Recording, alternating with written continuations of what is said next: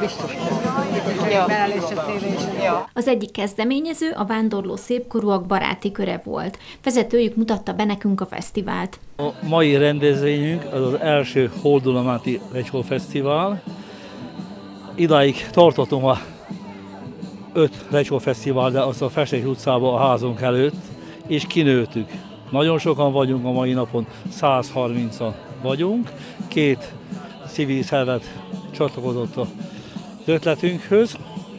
A Tólai Sárkáhajósok, a Kovács Gábor féle társaság és a továbbosok, a tovább szabadidős csoport, a Müller Józsinak a csoportja, a kerékpárosok, és nagyon nagy örömmel fogadták a meghívást, eljöttek, és együtt főzünk tíz bográsba. Gut Lászlóék rizses lecsót készítettek, ahogy fogalmazott gazdagon, kolbásszal, szalonnával, virslivel. Én rendszeresen főzök, tehát szeretem ezt a, a konyhai, nem ez a szakmám, de beleszerettem ebbe az egész dologba. Kovács Alexandráéknál pedig igazi csapatmunka folyt. Én egyébként nagyon szeretjük a lecsót, úgyhogy a fiúk voltak, akik a lecsót készítették, mi pedig többiek részt vettünk itt a játékokban.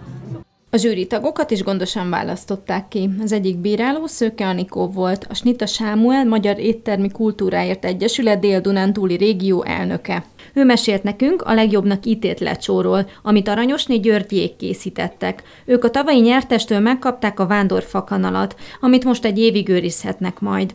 A győztes étel elég tartalmasan készült el, hiszen ők is fűszerpaprikát használtak, kisebb paradicsomos ízvilágot jelentett meg az ételük, használtak hozzá tartalmasabbá téve füstölt, füstölt kolbászt és füstölt kolbász és virslit.